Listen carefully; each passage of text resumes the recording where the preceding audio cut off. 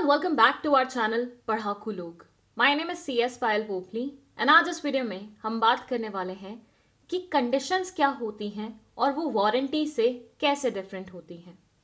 ये दोनों ही टॉपिक्स सोगा से पिक किए गए हैं और इस एक्ट के और बहुत सारे टॉपिक्स पे ऑलरेडी वीडियोस बनी हुई हैं, जो चैनल पे अवेलेबल भी हैं। आपको बस क्या करना है, यहाँ आई बटन में एक प्लेलिस्ट का लिंक होगा, उस पर जाना है और आप सारे वीडियोस देख सकते हैं। चलिए, वापस आते हैं कंडीशंस एंड वारंटीज पे। इन दोनों टॉपिक्स को समझाने से पहले ना, मैं आपको एक और कॉन्सेप्ट समझाना चाहती हूँ, जो इसका बेस है। देखिए, जब भी दो इंसानों के बीच में सेल का ट्रांजैक्शन होता है सेल का कॉन्ट्रैक्ट होता है तो कॉन्ट्रैक्ट होने से पहले इन दोनों में बहुत सारी बातचीत होती है। वो बातचीत किस किस तरह की हो सकती है? एक दो एग्ज़ाम्पल से समझ लेते हैं वो। ऐसे इमेजिन करिए एक्स बायर था, जिसे वाई से, जो कि सेलर था, कुछ खरीदना था। क्या खरीदना था? फॉर से लिपस्टिक खरीदनी थी। तो एक्स वाई के पास गया और उसने बोला कि मुझे रेड कलर की लिपस्टिक चाहिए दैट टू लिक्विड फॉर्म में। ठीक है? तो एक्स की डिमांड्स क्या क्या थी? कि मुझे रेड कलर की लिपस्टिक चाहिए, वो भी लिक्विड वाली। ये थी इसकी डिमांड्स अब वाई जब एक्स को सर्व कर रहा होगा तो उसे मेक श्योर sure करना होगा कि वो लिपस्टिक वही दिखाए उसे जो रेड कलर में हो और लिक्विड हो।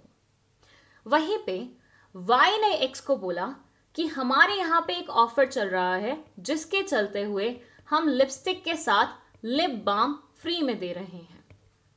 क्या बोला वाई ने? कि हम लिपस्टिक के साथ लिप बाम फ्री दे रहे हैं। अब जब वो सेल कर रहा होगा एक्स को लिपस्टिक तो उसे मेक श्योर sure करना होगा कि वो साथ में लिप बाम भी दे। ये जो चीज़ें हैं ना ये जो बातचीत है जो कॉन्ट्रैक्ट से पहले हो रही है इसे हम लॉ की लैंग्वेज में बोलते हैं स्टिपुलेशन स्टिपुलेशन का मतलब होता है शर्त।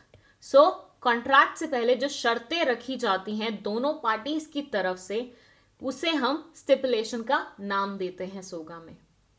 अब ये स्टिपुलेशन ऐसी भी हो सकती है जो कॉन्ट्रैक्ट के लिए बहुत ज़्यादा इंपॉर्टेंट हो और ऐसी भी हो सकती है जो कॉन्ट्रैक्ट के लिए उतनी ज़्यादा इंपॉर्टेंट ना हो। मतलब सारी स्टिपुलेशन इक्वली इंपॉर्टेंट नहीं होती हैं। इनमें से कुछ स्टिपुलेशन बहुत ज़्यादा इंपॉर्टेंट होती है, जिनके बिना कॉन्ट्रैक्ट में आगे बढ़ा ही नहीं जा सकता और कुछ स्टिपुलेशन ऐसी होती है, जिनके बिना कॉन्ट्रैक्ट में आगे बढ़ा जा सकता है, लेकिन फिर भी कुछ ना कुछ पेनल्टी चार्ज की जाती है। आई होप आपको स्टिपुलेशन का मतलब समझ में आ गया। अब ये स्टिपुलेशन को ही ना हम दो पार्ट्स में बाइफिकेट करते हैं। One is condition another one is warranty अब हम समझेंगे इन दोनों कॉन्सेप्ट को।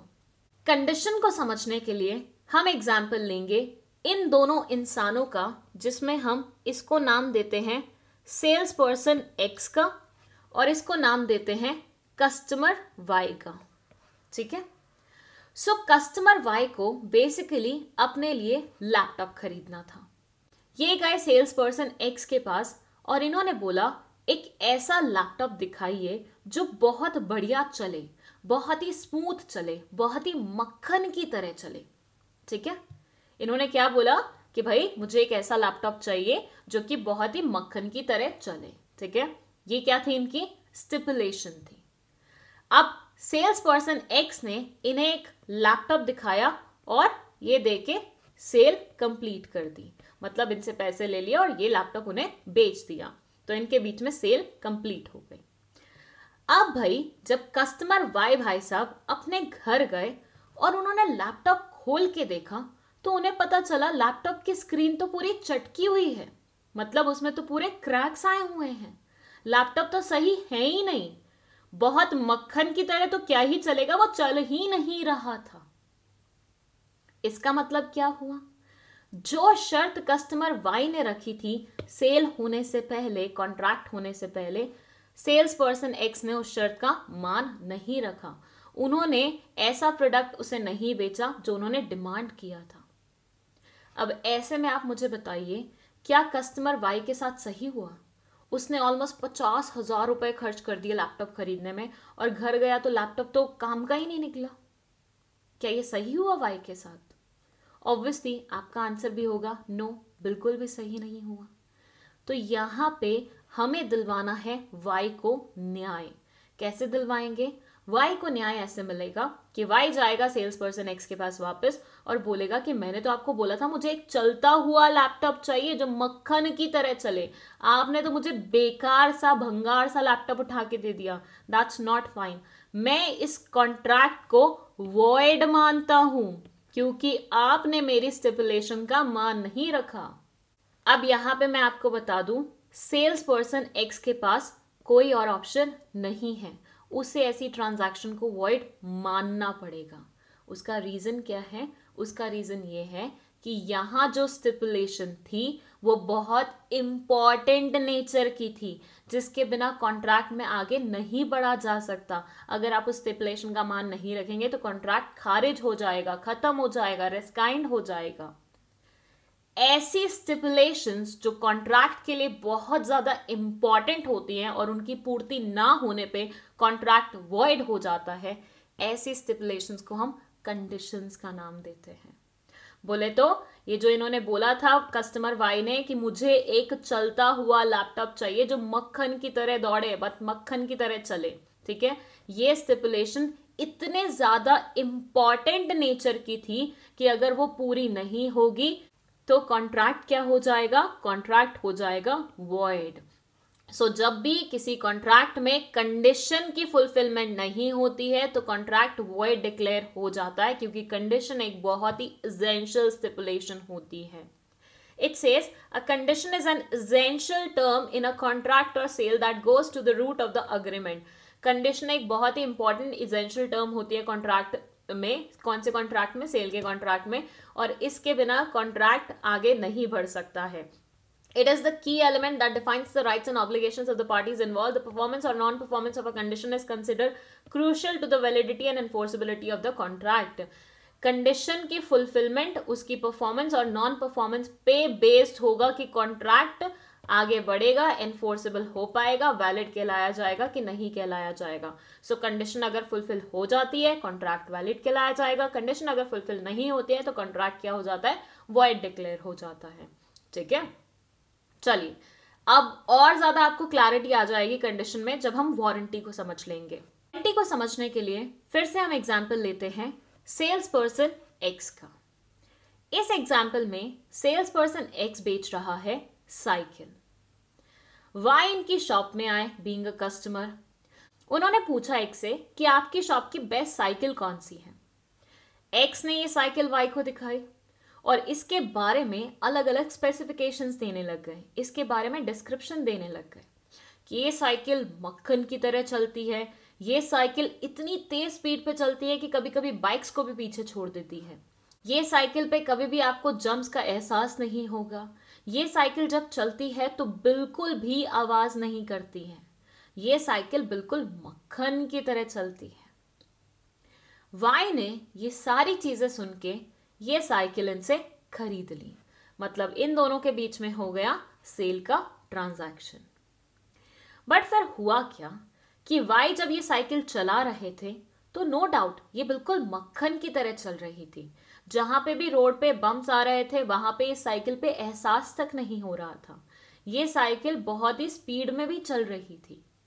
लेकिन when it comes to sound तो हल्का फुल्का साउंड इस साइकिल से हो रहा था साइकिल चलाने पे। वाई एक्स के यहाँ पहुँच गए।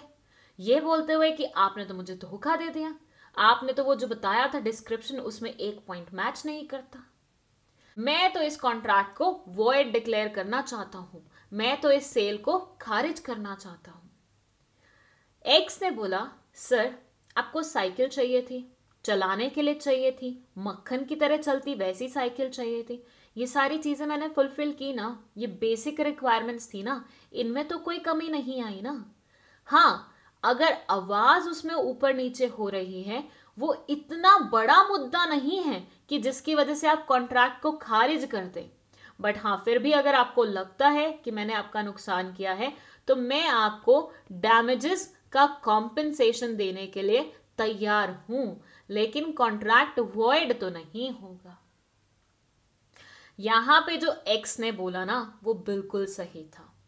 यहाँ जो कमी गई है ना चीज़ में, जो आइटम में कमी गई है ना, जो स्टिपुलेशन पूरी नहीं हुई ना वो इतने बड़े नेचर की नहीं है, जिसकी वजह से कॉन्ट्रैक्ट वॉइड डिक्लेयर हो जाए। वो एक छोटी मोटी सी चीज़ है जो क्वालिटी फिटनेस परफॉर्मेंस के ऊपर बेस्ड है। तो इतनी सी चीज़ पे हम कॉन्ट्रैक्ट को वॉइड डिक्लेयर नहीं करते हैं। रादर हम डैमेजेस का कॉम्पेंसेशन देते हैं। एक्चुअल में बोलूँ तो ऐसी स्टिपुलेशन जो कि उतने ज़्यादा इंपॉर्टेंट नेचर की नहीं है कि जिनकी पूर्ति ना होने पे कॉन्ट्रैक्ट खारिज हो जाए। ऐसी स्टिपुलेशन जिनकी पूर्ति ना होने पे सिर्फ़ और सिर्फ़ आप डैमेजेस क्लेम कर पाए कॉम्पेंसेशन ले पाए, ऐसे स्टिपुलेशन को हम बोलते हैं warranties so warranty basically ancillary term होती है कॉन्ट्रैक्ट में मेन एजेंशियल पार्ट नहीं होता कॉन्ट्रैक्ट का. वो चीज़ें जो साइड में एडिशनल होती है ना, वो होती हैं ये. अगर ये पूरी नहीं हो तो हम कॉन्ट्रैक्ट को खारिज नहीं करते हैं.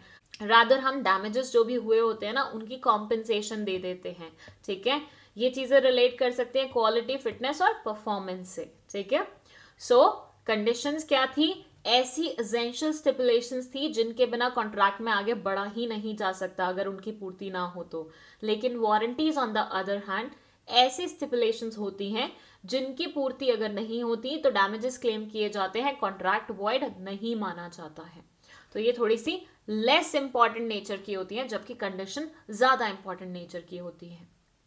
यहाँ ये बोलते हैं definition the condition are the fundamental purposes of the contract किसी भी कॉन्ट्रैक्ट का जो फंडामेंटल पर्पज होता है ना, वो कंडीशन कहलाया जाता है. जैसे लैपटॉप वाले एग्ज़ाम्पल में ऑब्वियसली लैपटॉप का क्या काम था? चलने का काम था, इस पर काम करना था किसी भी इंसान को तो ये इसकी बेसिक रिक्वायरमेंट थी बेसिक पर्पज था इसका. वो पूरा नहीं होगा तो वो कंडीशन कहलाया जाएगा और इसकी पूर्ति ना होने पर कॉन्ट्रैक्ट को वो डिक्लेयर किया जाता है. जबकि वारंटी सेकेंडरी प्रोमिस होते हैं, वो जो एडिशनल परफॉर्मेंसेज होते हैं ना बेसिक परफॉर्मेंसेज के साथ, उनको बोला जाता है। प्रॉमिस कंडीशन सेंट्रल होता है कॉन्ट्रैक्ट के लिए, लेकिन वारंटी सप्लीमेंट्री होती है। इंपॉर्टेंस ये डायरेक्टली अफेक्ट करता है कॉन्ट्रैक्ट के कोर को। ये इतना ज़्यादा एसेंशियल नहीं होता इंपॉर्टेंट नहीं होता। ब्रीच इसके ब्रीच से कॉन्ट्रैक्ट ही टर्मिनेट हो जाता है, लेकिन वारंटी के ब्रीच से सिर्फ़ और सिर्फ़ क्लेम्स मिलते हैं। सेक्शन ये सोगा के सेक्शन 12 सब सेक्शन 2 में कवर किया गया है, जबकि ये सोगा के सेक्शन 12 सब सेक्शन 3 में कवर किया गया है। अवेलेबल रेमेडी इसमें आप ना सिर्फ़ कॉन्ट्रैक्ट को खारिज करते हैं कैंसिल करते हैं वॉइड करते हैं बट साथ में डैमेजेस भी क्लेम करते हैं। यहाँ आप सिर्फ़ और सिर्फ़ डैमेजेस क्लेम कर सकते हैं, यहाँ पे आप कॉन्ट्रैक्ट को खारिज नहीं कर सकते। ठीक है? सो कंडीशंस वो चीज़ें जो बहुत ज़्यादा इंपॉर्टेंट है, जिनके बिना कॉन्ट्रैक्ट आगे नहीं चलेगा वॉइड हो जाएगा अगर पूरी नहीं होंगी। वारंटीज वो चीज़ें जो बहुत ज़्यादा इंपॉर्टेंट नहीं होती एडिशनल नेचर की होती हैं, जिनके पूरे ना होने पे कॉन्ट्रैक्ट तो वॉइड नहीं होता, लेकिन आपको डैमेजेस ज़रूर देने पड़ते हैं। नाउ आई होप आपको कंडीशन और वारंटीज लाइफ टाइम के लिए याद हो गया है। अगर ऐसा है हिट द लाइक बटन और ये वीडियो को अपने दोस्तों के साथ प्लीज़ शेयर कर दीजिए और खुद भी इस चैनल को सब्सक्राइब करते हुए जाइएगा। That's it. Thank you so much for watching this video.